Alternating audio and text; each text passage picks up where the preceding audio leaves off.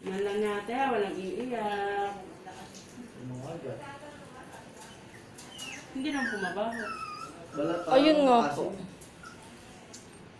Sana hindi mag, kuhan mag, ano, magtamlay. Kasi pag magtamlay po siya, ay naku po. Pwede, pwede pa rin pong mapasok ng parbo eh. Yun ngayon ang usong-usong sakit ngayon po. Outbreak kasi ngayon. Pero balik siya naman. Sigla.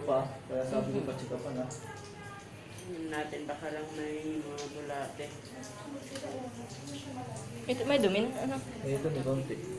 Ay, meron na nga. Oh. Itatapon na natin, bebe. May pampers ako Parang dito. sakto na sa kanya yung pampers na... Ah. ano, sakto. Milka? Oy, bebe.